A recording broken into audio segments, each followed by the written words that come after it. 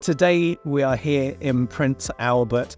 The team from Rise Air have come here to speak to air cadets for their aviation day, along with other experts in the industry who are talking about opportunities and training that people will need to take if they want to work in the aviation industry, whether that's as a pilot or as an aircraft maintenance engineer.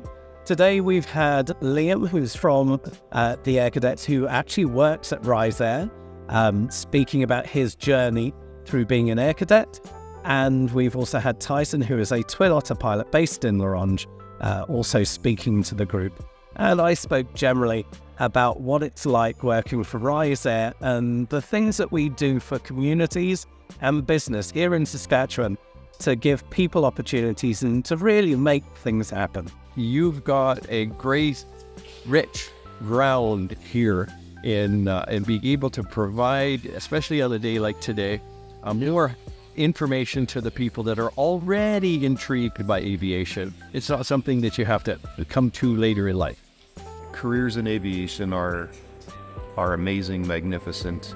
Just to educate our young people about how many different opportunities there are for them in aviation, and a lot of people don't understand truly how many areas of avi- aviation that they can be a part of uh, especially in northern aviation. Um, giving back to the community really is rewarding, and flying for uh, Rise Air really uh, helps with that process. Um, just the the reward you get from flying people in need is really an amazing experience. It's a growing industry, obviously, and with the pilot shortage, um, anyone who can you know, finish their training and look for a position won't have to look very, very far. There's always open positions and uh, need for pilots, so you won't have to look very far for a pilot job.